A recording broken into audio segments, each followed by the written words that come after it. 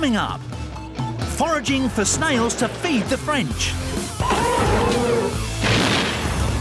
Forging cutlery with heavy metal.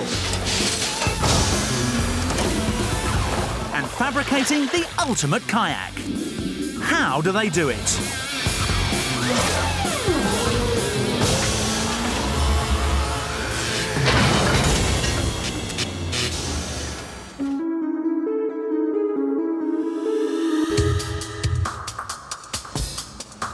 Snail. Scientists see a mollusk. Gardeners see a pest. Frenchmen see lunch. It's believed the Romans brought the habit of eating snails to France, where it certainly caught on. Today they eat over half a billion of them each year.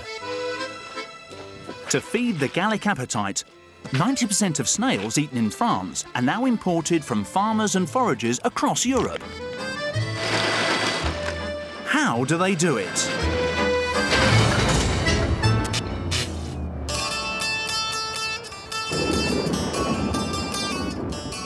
Northern Turkey. The Black Sea region is the wettest in the country. Annual rainfall levels here average 1,500 millimetres. But some like it wet. Snails do well where it's wet. That's because to get around, they float on a river of slimy mucus. And to make the mucus, they need water. Anyone else hungry? Every year, approximately 66 million snails from this region end up on our plates. Turkey is one of the biggest producers of snails in Europe, but it's an export industry only. The Turks hate snails. Turkish entrepreneur Sadiq Ayanoglu produces a third of all snails annually exported from Turkey. It's fair to say he's a massive fan of mollusks. Salyangoz benim hayatımda ailemden sonra ikinci gelen bir olaydır. And Sadiq doesn't work alone. Throughout spring, an army of snail snatchers scours the countryside, grabbing gastropods. It's not hard to catch a snail. It takes a snail 45 minutes to cover the distance of one human stride. Plus, you can sneak up on them because they're deaf. I said they're deaf.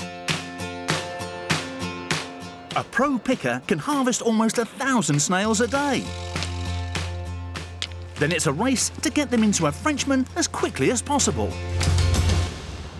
Snails might move slowly, but they breed fast. The reason is this they're hermaphrodites. They have both sex organs. When they breed, they both get pregnant. Less than 24 hours after they've been bagged, the snails arrive at Sadiq's factory in the village of Kadagermany. At peak time in spring, the plant can process over 300,000 fresh snails a day. 90% arrive during that period. But to guarantee fresh-tasting snails all year round, Sadiq puts some on ice. Chilled to minus 20, the shell-shocked snails slip off to that great vegetable patch in the sky, which is deemed the most humane way to dispatch a snail. Nowadays, eating snails is a delicacy you find in a posh restaurant. But cavemen used to eat snails. Shells have been found around prehistoric campfires that date back 30,000 years. Every day, seven or eight tons of previously frozen snails are processed. A toasty 40 degree bath cleans and defrosts the snails. Then they're sorted by size using a purpose built machine Sadiq designed himself. Yalnız Ayanoğlu firmasına ait bir makinedir. Diğer salyangozcu firmalarda böyle bir makine yoktur. Bir gece düşündüm böyle bir şey ne yapabilmiştik. Düşündüm deneye deneye en son bu makineyi bir projesini çizdim. Kendim de makine mühendisi olduğu için. A rotating steel cylinder carries snails forward until they fall through the correct size hole. The benefit of this contraption is it can grade over 33,000 snails an hour. They vary from 3 to 5 centimetres across. The biggest snail in the world is the African giant, and the biggest one ever found was 39 centimeters long. That's more than 15 inches. Imagine eating that with some garlic butter. The snails are nearly ready to be cooked. But first, their meat must be separated from the shells. A conveyor belt carries a stream of snails to a team of workers who pick out the meat. While their vacated homes are sent out back to be sold to chefs who use the shells to serve the slimy hors d'oeuvres. Without shells, the snails are sluggish, but the process runs like lightning as water ferries meat to the end of the line. The next issue is snail intestine contains partially digested leaves, toxins and dirt. Even the French won't eat that. Enter the snail snippers. With surgical precision, they cut away the intestine from 50,000 snails a day. The intestine extends into the snail's coils, back down through the body, and into the anus. Snails eat mostly plants. There are some who are predatory carnivores, but they have to feed on things that are even slower than they are, which mostly means other snails. Relieved of their inedible offcuts by the fastest blades in town, the slimy snail fillets get a spin in this clever washing machine. Then they add a bit more than a pinch of salt and they're ready to cook. And naturally, it happens at a snail's pace. Etleri ortalama 20-25 dakika 100 santigrat derecede pişiriyoruz. Bu bir yarı mamuldür. Bundan sonra Avrupa'ya ihracat ettiğimiz zaman Avrupa'da verdiğimiz firmalar bunu 3-3,5 saat kaynatarak da dolma haline getiriyorlar. You can do a lot with snails. Grill them, bake them, fry them, shells on, shells off. The French add garlic, the Bulgarians add paprika. Some people even eat snail's eggs like caviar. Fancy. Once cooled, Sadiq snails are packed up and frozen, ready for the trip to France. They're loaded into boxes 20 kilos at a time. Packed, wrapped and stacked, this batch is ready to roll. Sadiq's factory exports 1,500 tonnes every year. And the latest snail trail across Europe is about to begin. Ready, steady, escargot. Still to come, cutlery born in a blazing inferno. And the kayak that's a fish's worst nightmare. How do they do it? You going to mug me? Am I going to mug you? Is that gorgeous or what, eh? and I believe I can run a decent marathon. Thank you very much. Download Veely now. In the old days, forking out on cutlery meant a trip to these guys. Today, it's a very different story. The tale of tableware is an epic that takes in the South African veldt, the industrial heartlands of Germany, and a place where they really know their food, Italy. How do they do it?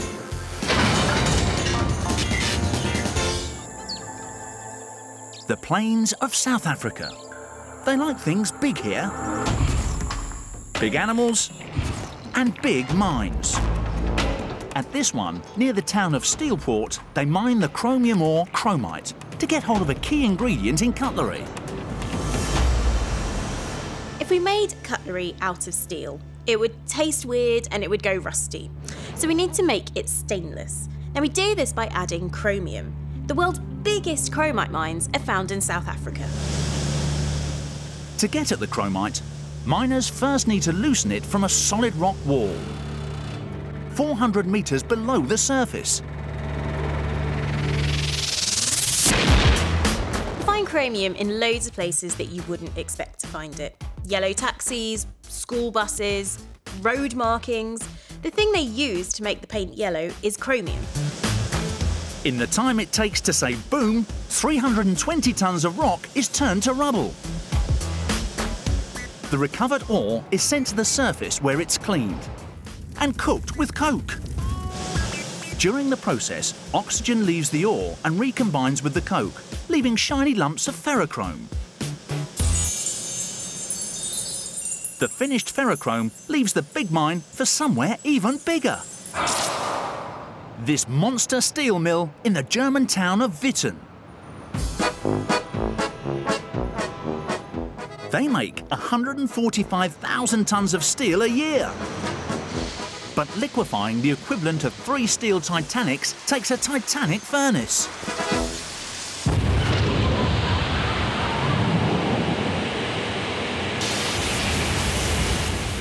This Titanic furnace.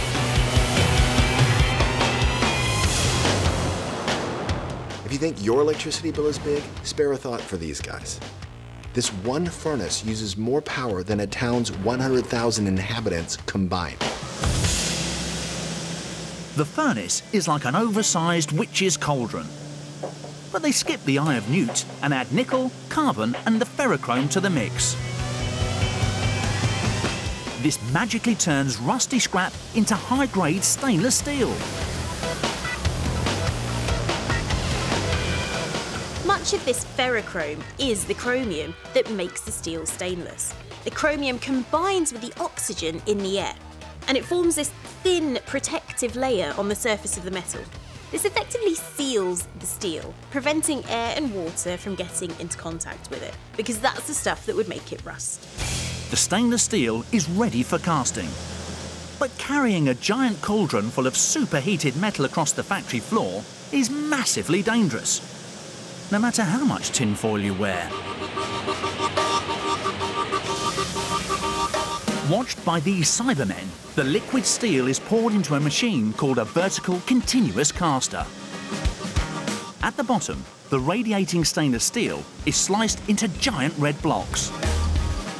They're a bit big to make cutlery with.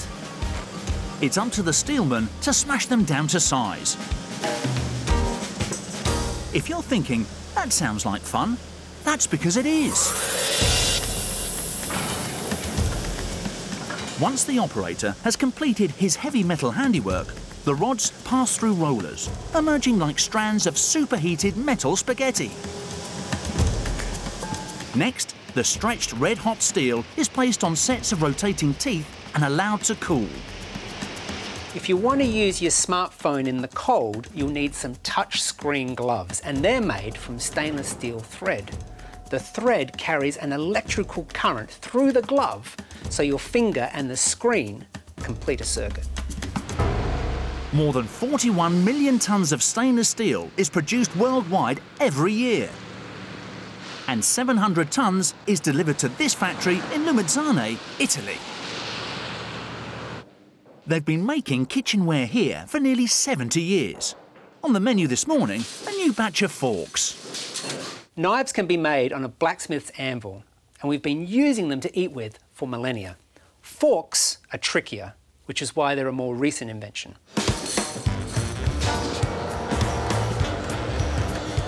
To kick off the process, they feed a one-ton roll of stainless steel into a cutout press. This smashes out steel blanks like a 15-ton tungsten-tipped cookie cutter. The blanks are transferred by robot into a rolling machine and then into a second low-pressure press. This pushes the blanks onto a mould of hardened blades and slices out prongs at a rate of 4,000 per hour.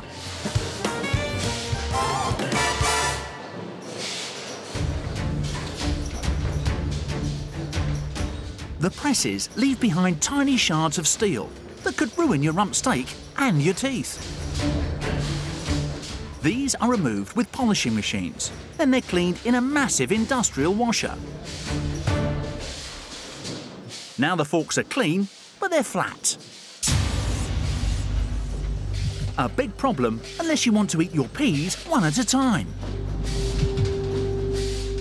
So this press forces the metal between two curved die, bending the prongs into the familiar fork shape. Here's an amazing fact for you. Using cutlery has actually changed the shape of our face. Before cutlery, we used to rip food with our teeth, and our teeth were lined like a monkey's, like this. Since using cutlery, Our jaw has moved back, and our teeth now overlap. Finally, the cutlery is polished with a series of brushes and abrasive paste, transforming the rough flatware into forks fit for a five-star restaurant. The one place they probably won't end up in is in the city of Gainesville in Georgia, USA. It's illegal to use a fork there, but only when eating fried chicken. No, I've got no idea why either.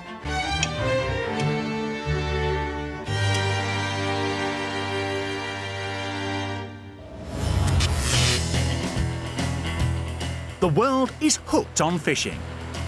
But trying to catch your fish supper in a big pair of waders can leave you floundering. This could be the answer. Part kayak, part penguin.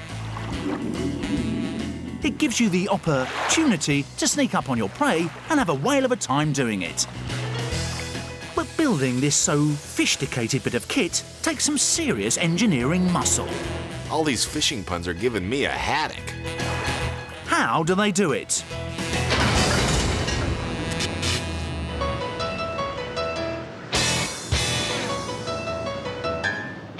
Oceanside, California is a city with a proud seafaring history. So it's a natural home for a company like Hobie Cat. They started out in the 1950s making surfboards. But today, they're working on something a little bit different. And it all starts with these giant cardboard boxes.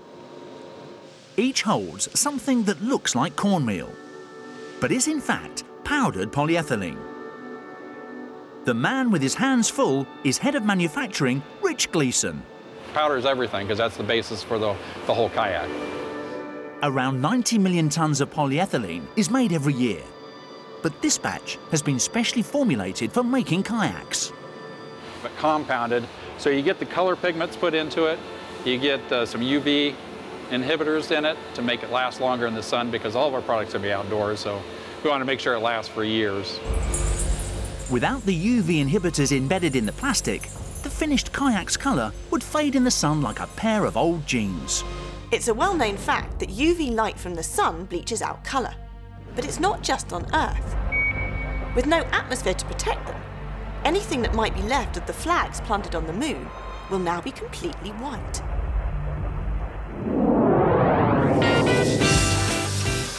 The kayak construction process begins with cleaning out this mould. Precise amounts of the polyethylene powder are then poured in. The challenge now is turning the granules into something that will float. So the top half of the mould is lowered into place and sealed, before the whole caboodle is hoisted into this giant mouth-shaped oven. As the jaws close, this worker fires up three burners hidden inside, which heat the mould to over 300 degrees Celsius. The trouble is that as the plastic melts, it turns into a liquid and starts to sink to the bottom of the mould. So like some kind of flight simulator, the whole thing is tilted back and forth. While inside, the mould is spun around like a gyroscope. You need to rotate, you need a constant motion so that the plastic is tumbling inside of the mold surface. If you don't tilt it, then the ends won't have enough plastic. The stern and bow need to be thick to protect against impacts, while the deck needs to be thinner to save on weight. This is achieved by adjusting the temperature of each burner so that it melts and cools different thicknesses of plastic in different parts of the kayak.